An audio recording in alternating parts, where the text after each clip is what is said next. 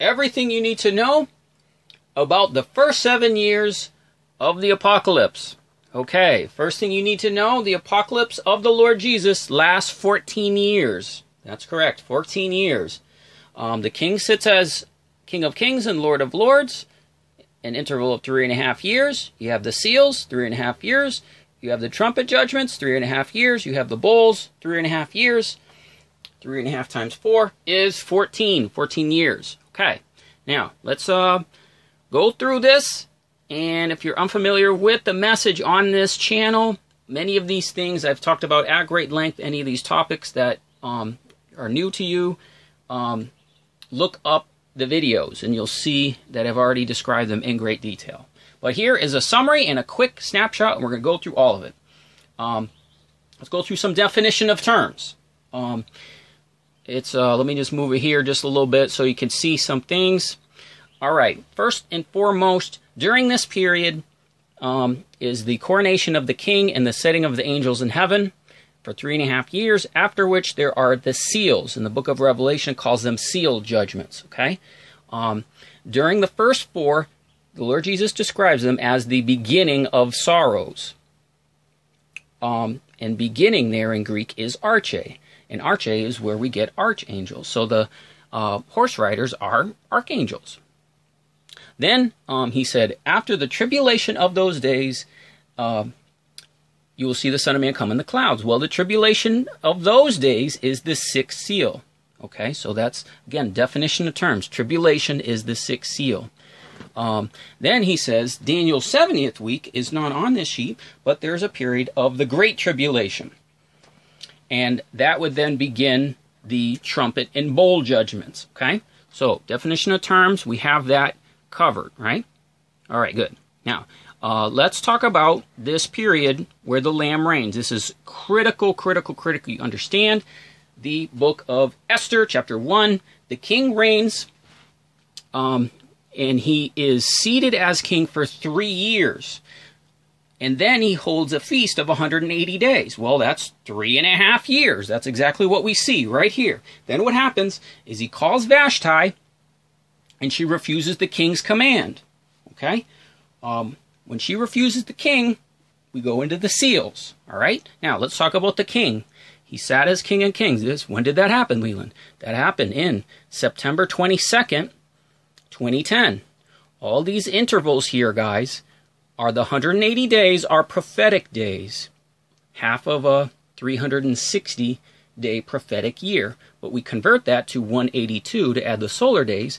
Now, all these intervals, according to the Enoch calendar, is month 1, day 1. Month 7, day 1. That's what all these dates are. So it started in September 22nd, 2010. Then the king sits and he reigns. And you see that in uh, Revelation chapter 4. Um, and then you also see him crowned and given garments in Zechariah 3. Um, he's a type of Joseph, who is second in command to the Pharaoh. And there are what? 14 years. Seven good years, seven bad years. These are the seven good years. Okay? Um, it's also the time of Jacob's trouble. Jacob's trouble is what? 14 years. He's got seven, he's got to serve seven for one wife and seven for another wife. 14 years. Uh, he's seated at the right hand of the Father. We see that in Psalm 110, verse 1. And he sits as Ancient of Days in Daniel 7, verse 9, um, which also lines up with the 24 elders sitting as thrones in Revelation 4. Okay? I've given for you all the verses that go in to describe the seven church angels. We see their role in Esther chapter 1 as they bring the bride, uh, the queen, to the king. Again, she is Vashti, she refuses the king. But all these other are the coronation and seats of all the angels that will uh, participate later in the apocalypse with various roles. Okay? Now, let's talk about Vashti refuses the king's command. So, what happens after three and a half years that just took place right there? The king is angry and he is angry for two and a half years. The two and a half years continues this interval of 180 days. These are the seal judgments. So you have the white horse rider, red horse rider, black horse rider, pale horse rider, the altar of souls. Then what happens? It's I don't have it here, but the seventh seal is only a half hour. So that means the sixth seal is a year. So now what you have is two and a half years for uh, the first five, and year six is a full year, totaling three and a half years of the time of the seals. Okay? All right. Now, what happens here, I've done my best to show you the eclipses. He said uh, there would be um, signs in the heavens. Okay? So, that's what we're observing here. All the different signs of the heavens, what do they mean? Well, um, when we have the blood moons, those blood moons are these 180 day intervals. Now, on a um, so let's look at them real quick. Let's go through this, guys. April 15th, 2014. That was the first of the lunar tetrad, or four blood moons. Okay? Then you have 176 days, and the next one was October 8th, 2014. The next one was April 4th, 2015. Well, that was 178. So, um, added together, it's a lunar year, which is 354 days. That is not 180 days. So those must be keep calibrated according to the Enoch calendar, which would give us intervals of 182 days. Okay? And that's what we've given you here. Is all these dates are intervals of 182 days per the Enoch calendar. Okay? Now, let's talk about um, Matthew 24. This is the foundation of what we're going on. That is, um, you know, when the disciples asked the Lord in the beginning part of Matthew 24, what you know when you when the Son of Man comes, what what's the last days? He said, "Well, take heed that no man deceive you." That's deception. Well, that relates to the white horse rider. Okay. Then you hear of wars or rumors of wars. Well, that re- relates to the red horse rider. He holds a sword. Um, there will be famine in those days, and that relates to the black horse rider holding the scales. There'll be pestilence, and that's the pale horse rider who also has a sword. Um, and they and these are angels that go about bringing judgments. And then he talks about persecution, and you can see clearly right here in uh, March 16th, 2016 began the fifth seal. This is where we are right now, the altar of souls. So the altar of souls, guys, is uh, terrorism in general, but specifically ISIS, who is killing Christians. This is exactly fulfilling the souls under the altar that cry out to God for um, witness and testimony. So, uh, in general, we consider that terrorism. Okay. Um, now, the other thing that happens during this period is the two major players are on the scene. In Daniel chapter 8, um, it tells us about a little horn. Now, this little horn we consider as a forerunner. It's not the Antichrist, it's a forerunner to the Antichrist, and it's Obama. Um, what happens is he comes towards the four spirits of the heavens. These are the horse riders. So he really takes his role, guys, since um, the blood moons. That's when he's on the scene. Also, the Lord said um, there will be many false prophets and false teachers. Well, um, what we consider there is that same word false prophet is we find in the book of Revelation. And so Revelation 13 talks about the lamb that speaks as a dragon. So it's code the Lord is giving us that the false prophet would be on the scene at the time of that description. And that's Matthew 24, verse 11. So that is Pope Francis. So we have the two players on the scene in the time of the seals. Um, at this point, Obama is not the Antichrist, okay? But he is a forerunner figure.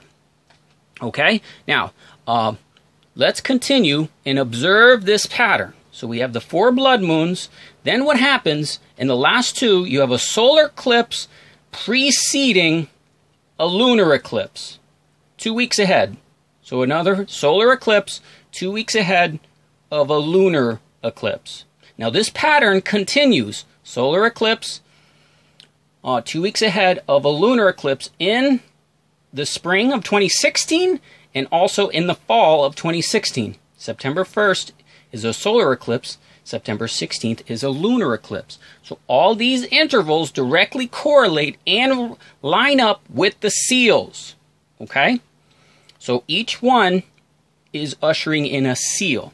So there's uh, six um, uh, directly, uh, one after another, every um, spring and fall feasts. Okay, so every feast is an interval of prophetic 180 days, but uh, we have to add the solar days. There's two solar days in six months, so it's 182 days. Now, this is all of this is so critical that you understand.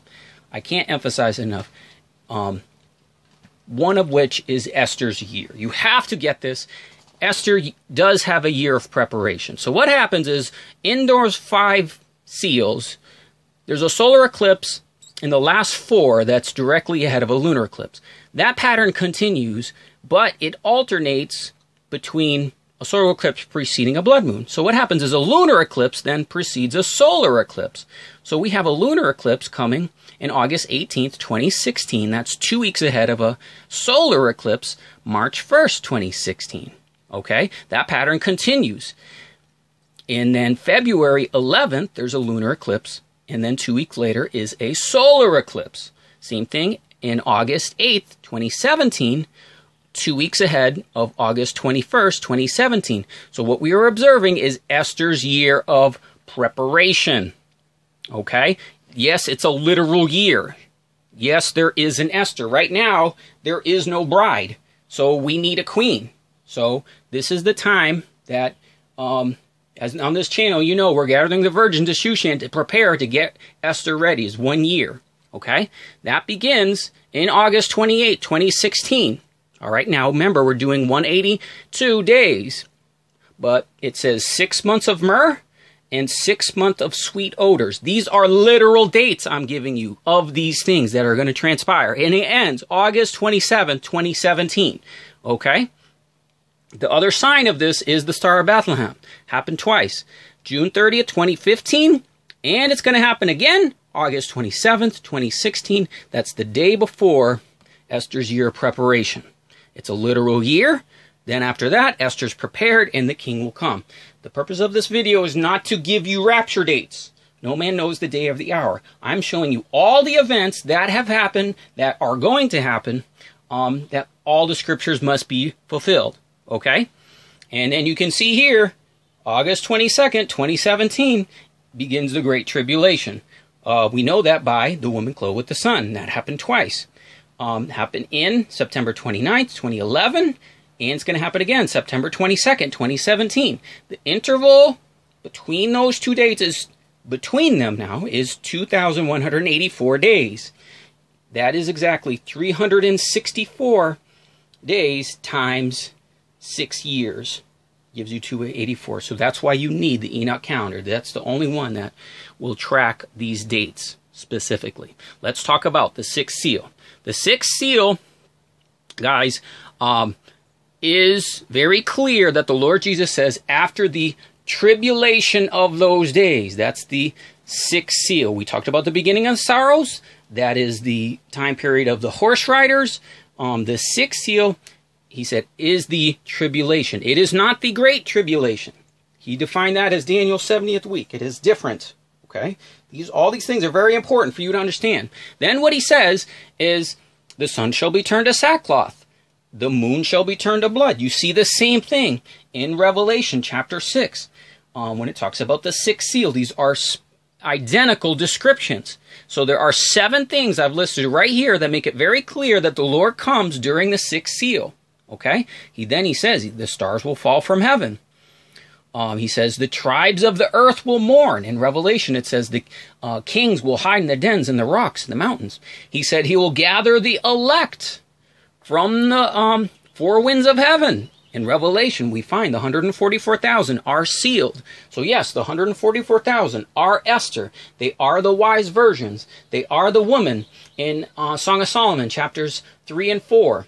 Um, the unwise virgins, or the great multitude, is those that are Vashti, those that are the Song of Solomon woman of chapters 5 through 8, um, and the unwise virgins.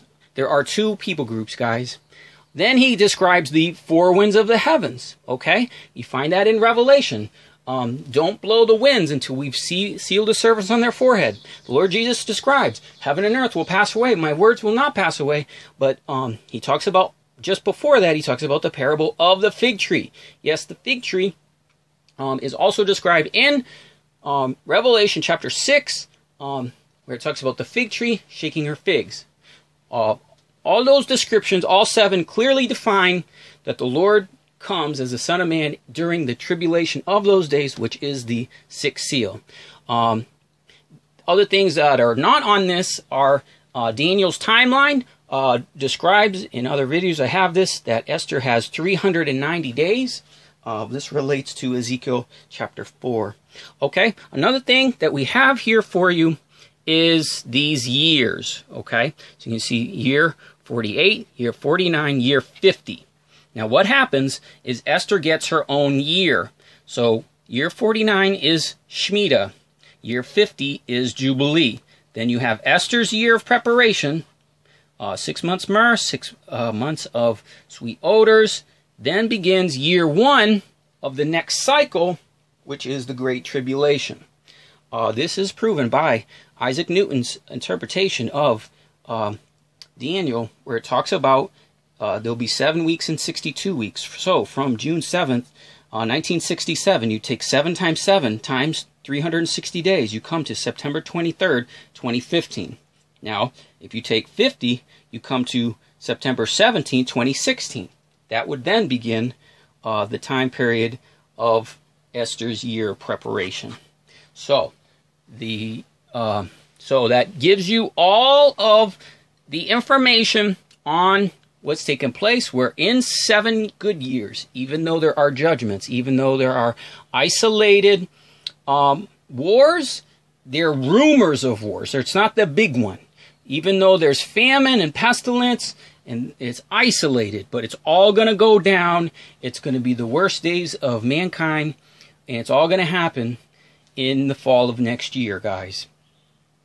But there, is, the Lord is coming. He's coming for a remnant. He's calling for a small number, um, but she has to get ready first. Okay, so um, uh, most of your questions will probably be on this channel already. Um, all you have to do is just anything here is new. Uh, just go over the uh, videos in the channel and you'll see that I've already covered this all at great length. I'm just doing one video to summarize. Okay. Um, God bless you, and to God be all the glory and honor and power and dominion for this information that He would make it clear to us to what is the day and the hour.